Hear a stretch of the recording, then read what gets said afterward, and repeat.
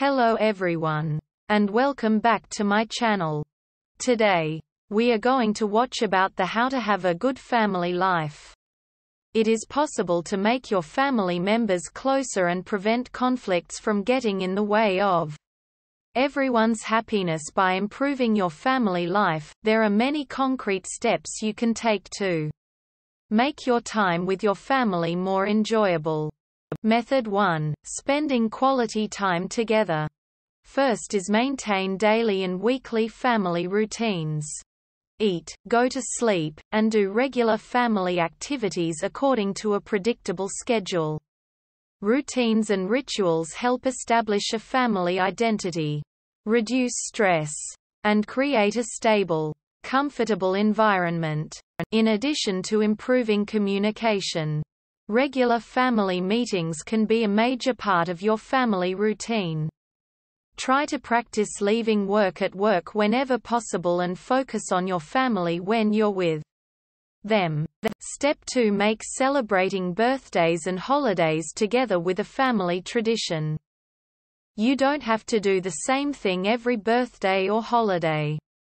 For instance, you could go to a family member's favorite restaurant or do their favorite activity on their birthday. You'd be sticking to a tradition, but the activities would be varied. Step 3 Have meals together as often as possible. Parents work and kids have after-school activities. So it's tough to have breakfast and dinner together every day. However, do your best to eat together as often as possible. Family meals are a key routine and can help you stay involved in each other's lives. When someone gets home from work or practice late, sit down with them while they have dinner. Even if you've already eaten. Spending time together and having a conversation is more important than eating at the same time. Step 4 Set aside time for regular family activities. Regular activities could include bike rides, walks, or playing cards or board games. If possible, dedicate at least an afternoon or evening per week for a family activity. Keep it low-key, and focus on having fun together and enjoying each other's company. Finally, do household chores together. Few people actually enjoy doing chores but sharing household responsibilities can help everyone in your family take pride in your home. Try to make it as fun as possible, such as by playing music or having contests. For instance, whoever finishes folding their laundry first might get to pick out the movie you'll watch together. Divide chores up into age-appropriate categories. After dinner, your youngest could wipe the table. Your oldest could fill the dishwasher.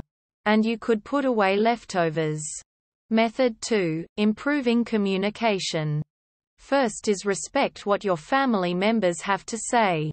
When someone expresses an opinion, don't dismiss it or interrupt them before they can finish speaking. Maintaining open, respectful communication channels will help your family develop trust and strengthen your bond. For instance, avoid making fun of your siblings whenever they express an opinion. If your siblings pick on you, try telling them, I know that all brothers and sisters mess with each other. But it hurts my feelings when you make fun of everything I say. Step 2 Avoid harsh criticism and judgments. Give each other permission to express emotions and act silly without fear of criticism or judgment. When people expect harsh judgment, they tend to bottle things up and avoid sharing their feelings. If you're a parent, offer positive, constructive criticism, and try to discourage your children from harshly judging each other. Instead of saying, no, that's not how you do that, say, good try. But let me help you do this the right way.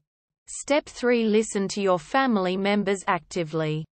Active listening is when you absorb what the other person says and convey that you're paying attention. Make eye contact with them, nod your head, and say things like, I understand, when appropriate. Just listen instead of planning on what you'll say next. And don't give advice or your opinion until the other person has finished. When necessary, ask for clarification. Say, wait, what do you mean by that? Or, was this before or after you saw them at the store? Quote, Active listening means putting down your phone when you talk to someone. Try not to check your texts or social media, especially if you're having a serious conversation. Step 4 Express love and appreciation frequently. Little verbal and nonverbal gestures of affection go a long way. In addition to saying, I love you, try to find small, specific ways to show you care for each other. Using please, thank you, and other courtesies can set a positive tone. Hugging your parents and saying, just want you to know I appreciate you, makes a major impact. If your sibling is doing their homework and there's an empty glass on their desk, ask them, Hey, can I get you more water? Quote. Step 5 Avoid comparing your family to those you see on social media.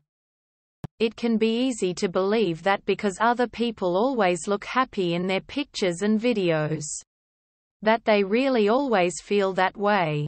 However, it's important to keep in mind that every family has to work to keep their relationships healthy and strong. If you start to envy someone else's family, just remind yourself that you don't know what their life is really like. And they likely have family arguments and other issues just like everyone else. Remember, even if someone else's family takes more vacations or has more expensive things, it doesn't mean they're any happier than you and your family are. Finally, have upbeat weekly family meetings. A family meeting doesn't have to be formal or focus solely on heavy topics.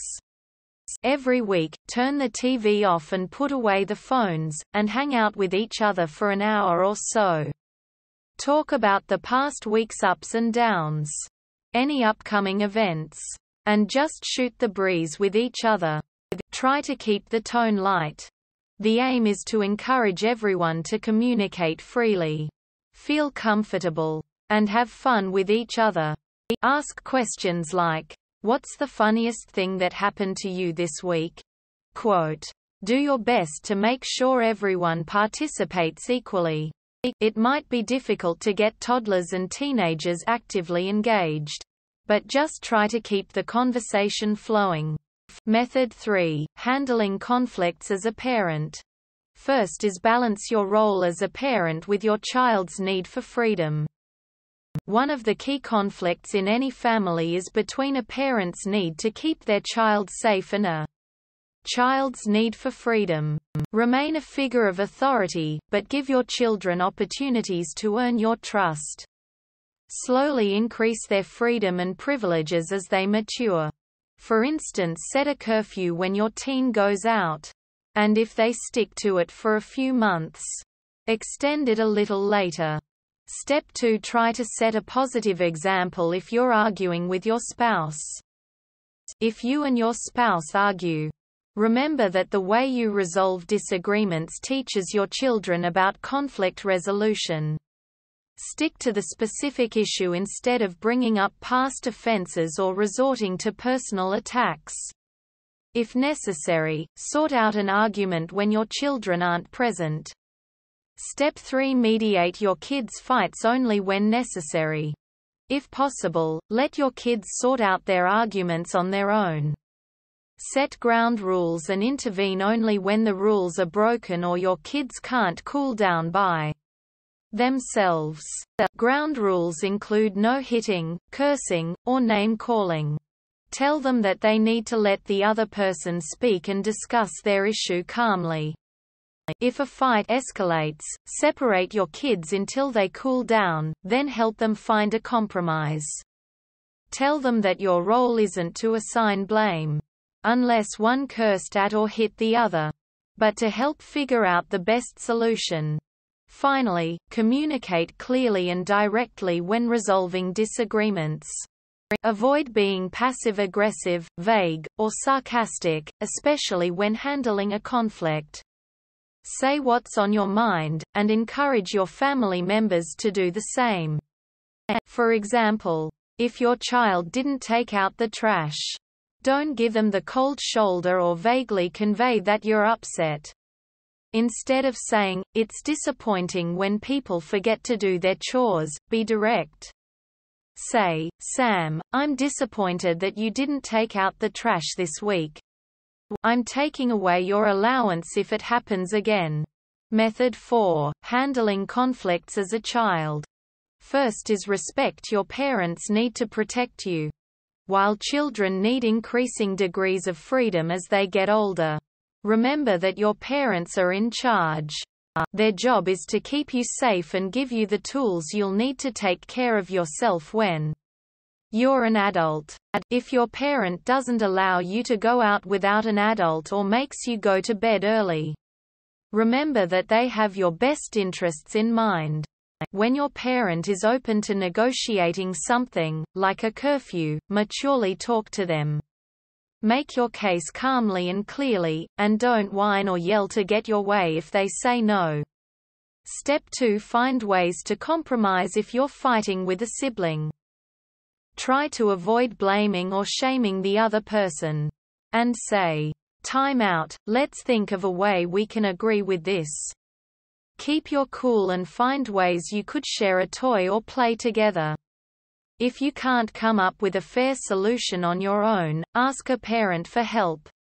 Step 3 Try to see things from your family member's point of view. Before jumping to conclusions, take a deep breath and try to stay calm. If someone ate your favorite snack or stole your clothes, try to see things from their perspective before getting angry. For instance, if your sibling stole something that belongs to you, such as a jacket, makeup, or a watch, say to yourself, I really don't think they did this to spite me. They probably just want to wear this to school and look cool. Tell them, I know you really like my leather jacket. I understand that it makes you feel cool. But it belongs to me and you can't just take something without asking. Finally, avoid getting involved if your parents are arguing. When your parents argue, just let them work it out on their own. Don't try to be the referee or otherwise get involved. Go to another part of the house. Listen to music. Or find something else to do until they stop arguing. If the argument goes too far and becomes physical, talk to another family member, school counselor, or other trusted adult. We hope it is useful to you. Please subscribe to our channel.